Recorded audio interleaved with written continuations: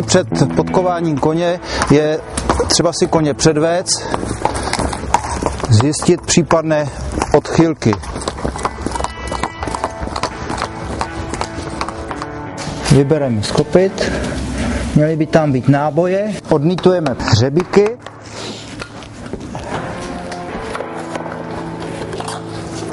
sejmeme podkovu. Děláme to tak, aby jsme, aby jsme koni nedělali žádnou bolest, aby to bylo naprosto v klidu. Straníme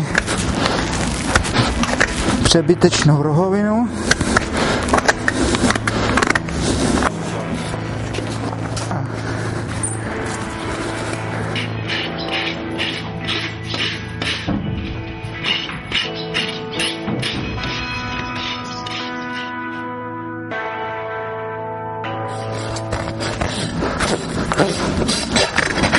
Takže vystrouháme, uděláme korekturu zadního kopita,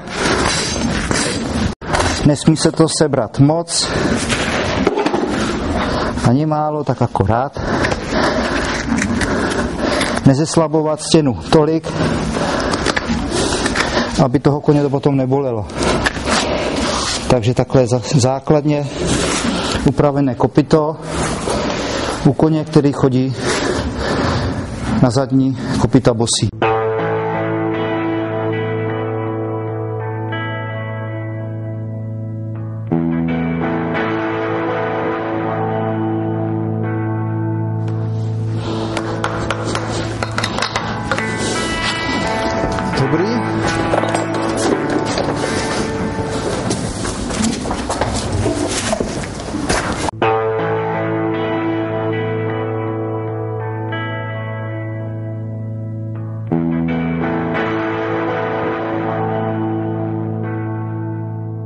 Sundáme podkovy, tak eh, bychom si je měli prohlédnout.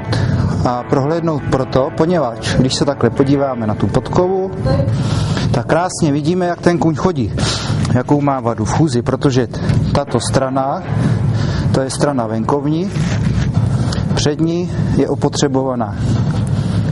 Na druhé noze taky. Upravíme si podkovy za tepla.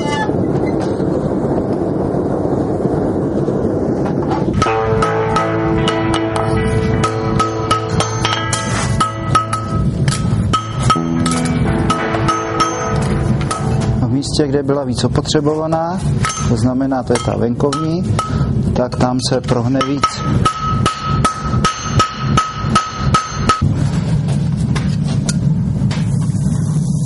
Dobrý. Tady toho koně nemůžeme připalovat, protože zlobí.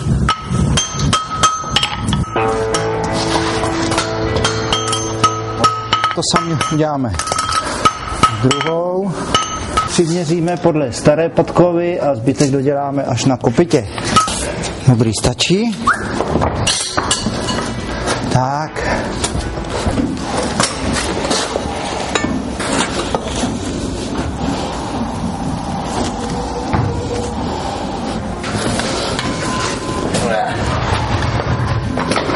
Měříme druhou podkovu, protože jsme tohohle koně nemohli dělat za tepla, nemohli jsme to, protože zlobí, tak se to musí dopasovat za studena. No. Podkovy máme připasované, levá podkova, pravá podkova. A teď se musí podkovy brousit tak, aby okraje byly šikmo zbroušeny, aby se kuň případně nestrouhal anebo nestíhal.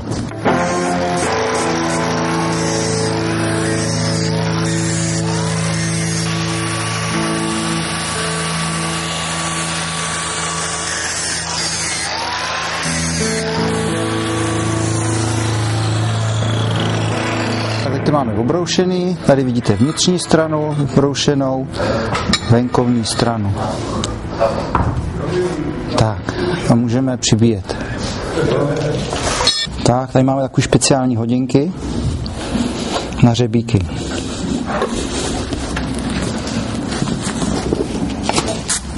Podkova musí být připasovaná tak, aby jsme mohli správně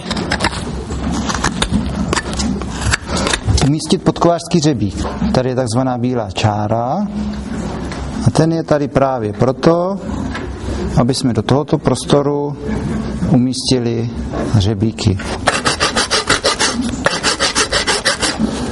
Tak a ta bílá čára to je vlastně rozhraní mezi škárou a rohovou schránkou.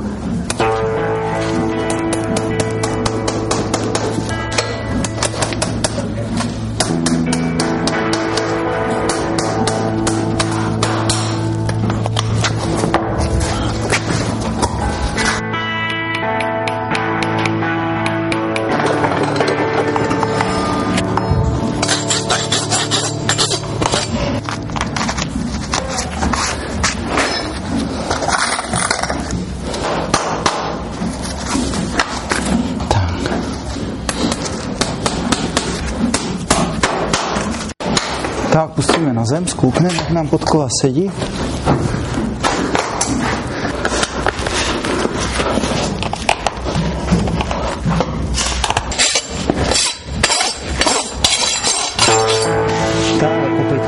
Konec. Teď si provedeme koně pokování. To znamená, že se podíváme, jak nám jde. V kroku můžeš ji zaklusat kousek, ona jde hezky se nese okované kopito musí došlapovat celou plochou podkovy na zem. Musí se správně překlápět a kůň nesmí pokování kulhat.